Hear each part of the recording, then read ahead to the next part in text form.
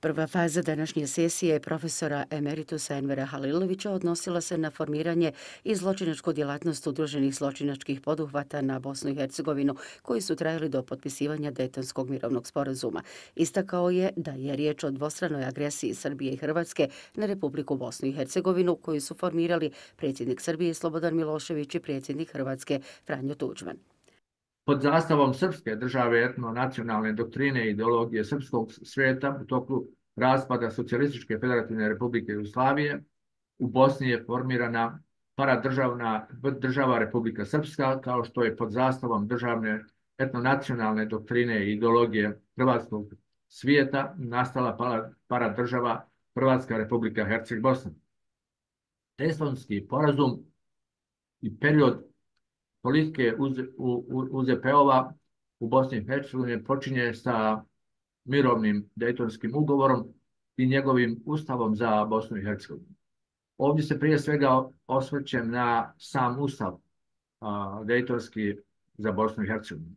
Dvije su bitne po meni vrijednosti ovog ugovora za ustavljanje rata u Bosni i Hercegovini i ukidanje Hrvatske republike Herceg Bosne. Međutim, Dejtonsko ustavno političko rješenje suvereniteta i državnost, državnog uređenja Bosne i Hercegovine nije bosansko rješenje, već srpsko-hrvatsko rješenje statusa i uređenja Bosne i Hercegovine. Bosanski Srbi i Hrvati su postavljeni u poziciju etničkih manjina Srbije i Hrvatske, a ne konstituentnih naroda Bosne i Hercegovine, kako potpisuje Dejtonski ustav Bosne i Hercegovine, navodi profesor Halilović. Mišljenje je da sa stavovima predsjednika ove dvije države naša zemlja ne može postati punopravnom članicom Evropske unije.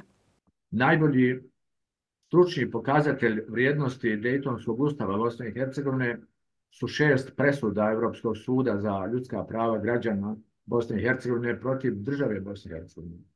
One su faktički eliminirale osnovne no, pravno-političke postavke i postulate Dejtonskog ustava Bosne i Hercegovine.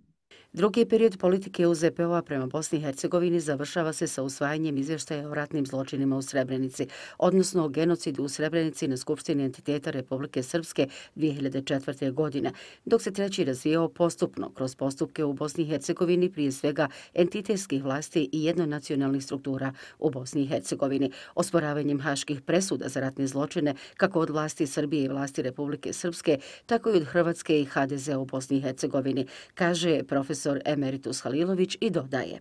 Glorifikacijom, dodjelom priznanja presuđenim ratnim zločincima, otvorenim stajanjem na strani ruske okupacije Ukrajine, donošenjem niza separatnih i antievropskih zakona u Skupštini Republike Srpske, HDZ-ovim i hrvatskim političkim ultimatumom da za legitimno predstavljanje bosanskih Hrvata u predsjedništvu Bosne i Hercegovine, Domu naroda, parlamenta federacije i Domu naroda državnog parlamenta, što u praksi znači zahtjevom za etničkom teritorializacijom Federacije Bosne i Hercegovine, odnosno za reinkarnacijom Hrvatske republike Herceg Bosne.